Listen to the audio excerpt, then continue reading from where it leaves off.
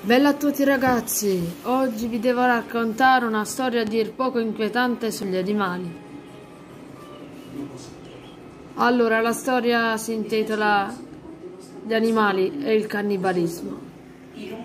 Allora, leggiamo questa storia. L'ho tradotta perché l'ho trovata su un sito in lingua inglese, ma adesso ve la leggerò tutta. Iniziamo.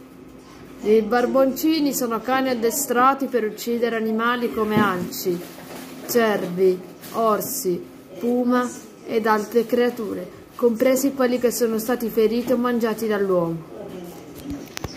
È importante tenere presente che i cani non sono necessariamente perfetti. Di norma è probabile che i cani mordano gli altri. Questa è una conseguenza naturale ed evolutiva dell'interazione uomo-cane. Ma è anche noto che anche i cani mordono gli umani in modi molto pericolosi. Il cannibalismo è un evento frequente di natura, di solito durante l'estate. Poiché l'estate è un periodo dell'anno in cui è probabile che abbiano mangiato cervi, in natura sono state osservate diverse reazioni di morso e morso.